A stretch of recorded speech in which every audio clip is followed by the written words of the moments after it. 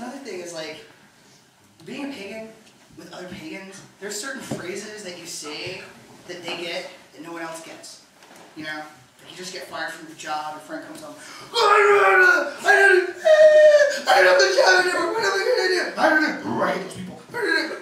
Brandon's. Okay. One, two, white ball of light, quartz, sage, pleasant thoughts, la la la la la la. You know. the Discordians get to have their way too. I'm my own pope. I'm not my own grandpa. It's weird. But no, uh, what was I at? Squares, uh, Hayden, uh, Petuses, yes. Who uh, knows about Eve Ensler? You, you know Eve Ensler. I know Eve Ensler. No one else knows about Eve Ensler? Vagina monologues? Hello. Oh. Eve Ensler, yeah. She.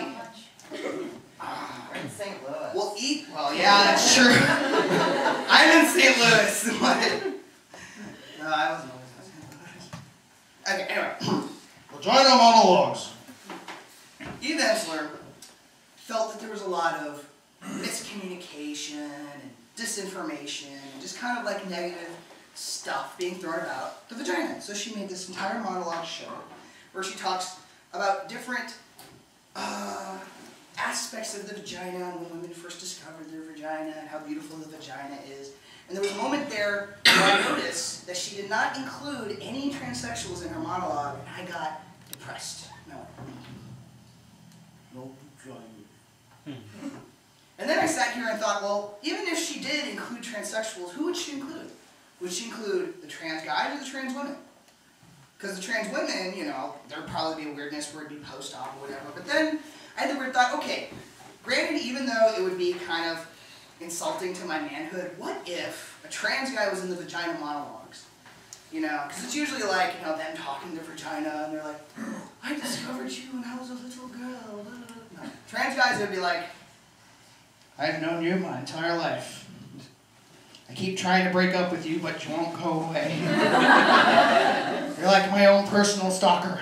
No matter what I tell everyone, you have to come and contradict me at least once a month. and I sit here and I try and tell you, no, I am not buying those tampons. They out me. God damn it, I am eyelinering my goatee in because you are driving me crazy. Do I have to get a restraining order? Let me spell it out for you. You are not my friend! Anymore! Now pack your shit and go! I don't care where. Just leave me alone. You are not my friend. Don't come. No, do not call me. Do not come within 100 feet of me. Do- Don't even look at me. You are not my friend. I never liked you. Bitch. you know, but then, but then I was so relieved because I found out recently, yes, Eve Ensler did expand the monologues and included trans women. And I was like, yes!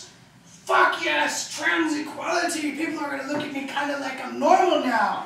Woo! And then ENDA happened. Who knows about ENDA? Mm. Employment Non-Discrimination.